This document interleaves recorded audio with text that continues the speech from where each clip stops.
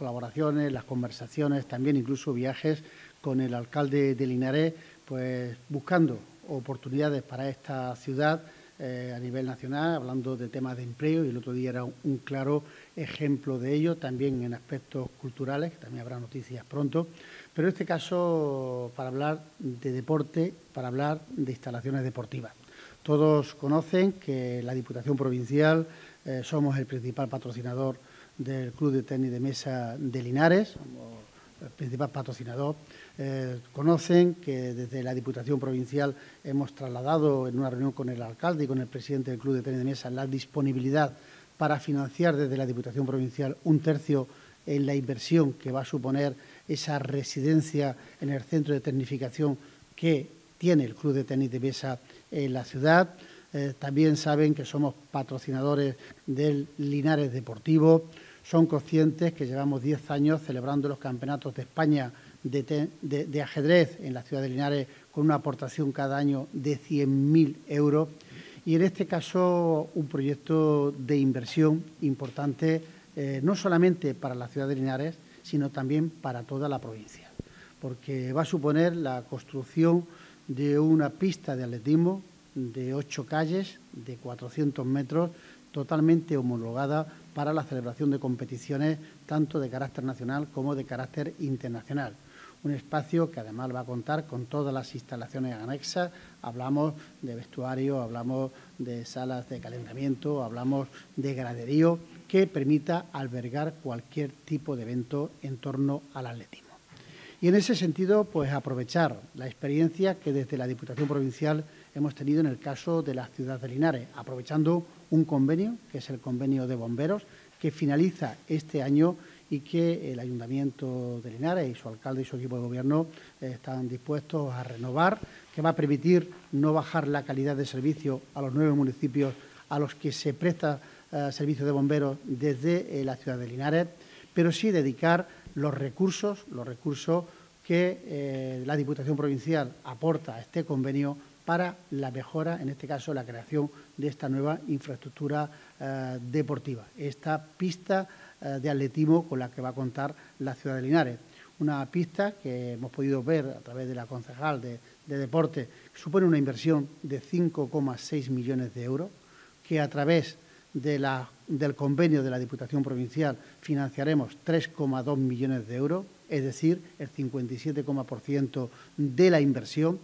que además la Diputación Provincial, como hemos hecho en el caso de la ciudad de Jaén, estamos en condiciones de anticipar anualidades para que el proyecto se pueda ejecutar lo antes posible y también brindarnos para, desde el punto de vista técnico, eh, tanto en el tema de expropiaciones como de redacción de proyectos o de contratación, ponernos a entera disposición del Ayuntamiento de Linares para que esta gran infraestructura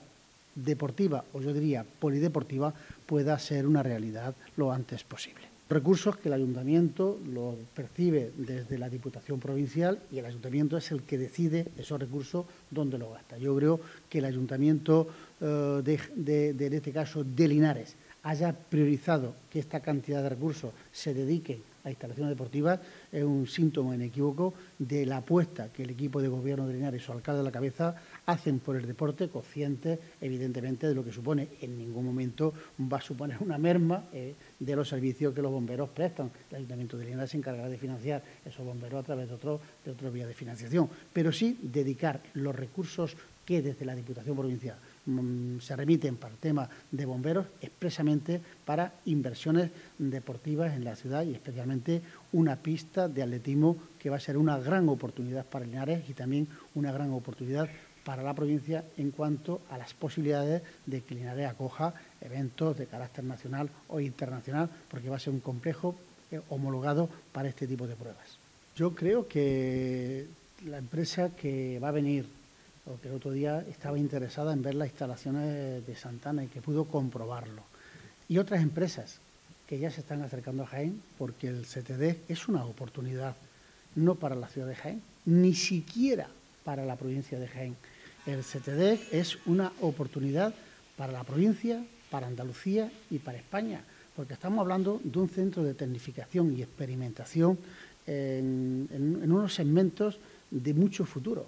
De mucho futuro, como es la lucha antidrones. Estamos viendo la importancia de la lucha antidrones que está teniendo en la guerra injusta de Ucrania. Estamos hablando de un centro de tecnificación en la conducción de vehículos inteligentes, tanto vehículos civiles como militares, donde Jaén va a ser la provincia un espacio de referencia de homologación y de experimentación. O estamos hablando también de la inteligencia artificial ligada, ligada a la defensa. ¿no? Por lo tanto, sectores eh, pioneros, sectores de mucho futuro, de mucho futuro, y en el que la ciudad de Linares con el Centro Tecnológico Metalmecánico, con, experiencia, con empresas con una alta experiencia y cualificación en el sector metalmecánico, pero también en otros sectores ligados a la innovación, eh, a las nuevas tecnologías,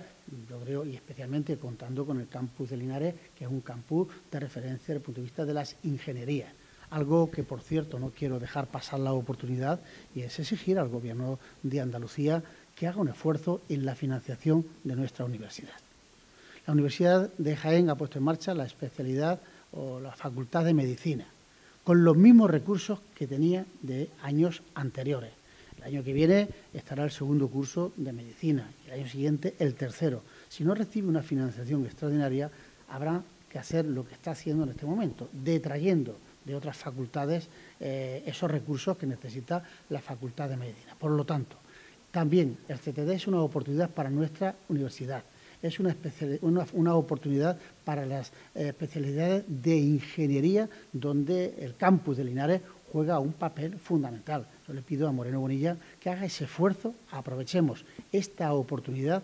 esta oportunidad que el CTD es no solamente para la provincia de Jaén, sino para toda Andalucía, el que nos convirtamos en un espacio de referencia para empresas que van a querer instalarse al lado del centro de experimentación van a querer instalarse al lado del centro de homologación y eso es una gran oportunidad para la provincia y, por supuesto, insisto, en la ciudad de Linares y la empresa del otro día es un claro ejemplo de ello, algo que el alcalde eh, viene trabajando con discreción.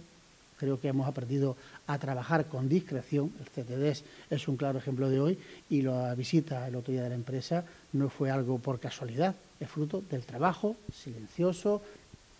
pero sin parar intentando convencer de los instrumentos y de las posibilidades que Linares tiene eh, para implantarse empresas de estas características.